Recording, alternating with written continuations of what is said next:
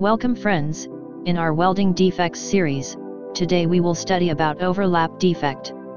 We will come with more welding defects in next videos. Please subscribe my YouTube channel for more welding and NDT related videos and click the bell icon. You can also join us on Telegram and WhatsApp group for material, discussion, and job updates. Definition of overlap is a condition where the weld metal rolls over forming an angle less than 90 degrees. Sometimes referred to as weld bead rollover. What is corrective action for overlap? 1. Grind or carbon arc the weld to sound metal. 2. Weld repair the affected area, if needed. What are preventive actions for overlap? 1. Adjust amperes or volts. 2. Increase travel speed.